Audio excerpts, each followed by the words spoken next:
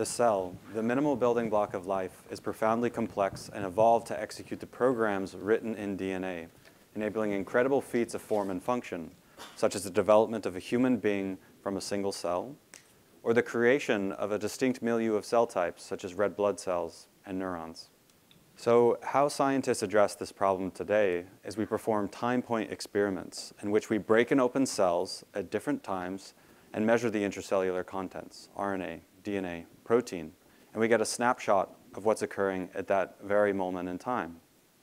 And the clear limitation to this is you're only seeing what's occurring at that snapshot and nothing else. So how do we as people remember our history? We take notes, we write books, we build museums, we create documentaries and film. The idea I want to share with you today is how can we coax cells to write down what is happening to them? How can we engineer cells to be their own biographers, transcribing the molecular and cellular world around them into a medium that we can understand and use to reconstruct facets of human health and disease, enabling us to look into the past? It turns out, hidden in nature, the fundamental components of such a recording system have already evolved. And that system is called CRISPR. And in nature, this is a microbial adaptive immune system that endows microbes with the capacity to remember and defend against foreign invaders.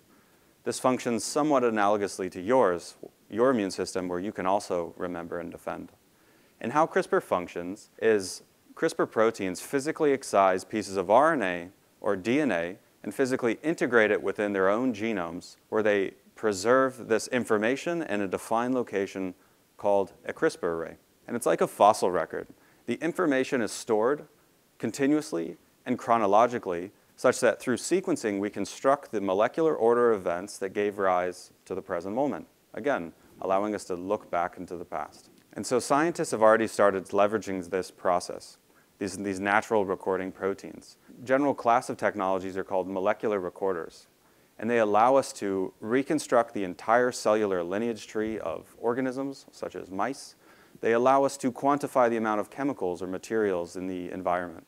And they also allow us to encode digital information, such as movies. And my laboratory at ETH Zurich fueled progress in this area by developing a CRISPR molecular recorder that has the capacity to continually record RNA inside of living cells. And RNA, as you know, is transcribed from DNA which tells us about which genes are being expressed, the quantification of which tells us seemingly everything about the cell. And in some, we've created a cell with gene expression memory. And in my lab, we're now using it to create microbial sentinel cells that can interact with the human body and record objective biomarkers of human health and disease via the gastrointestinal tract. There are a few hurdles that stand in front of us from realizing the full potential in the world today. And those hurdles include an unclear regulatory path to approval in humans, the efficiency of the system, and how these cells will perform in at-risk individuals, such as child, children with malnutrition.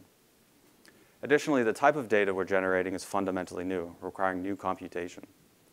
Fortunately, due to advances in computer science, machine learning, synthetic biology, protein engineering, over the next few years, we are very close to executing all these scientific aims.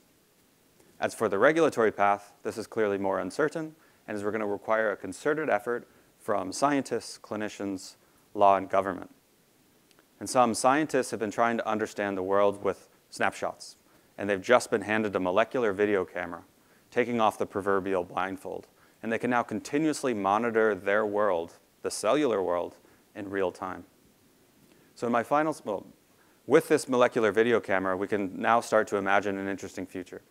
A future with cells with memory which we can use as a biotechnology platform to record the molecular and cellular world, including our bodies, including the planet, the soil, air, and ocean.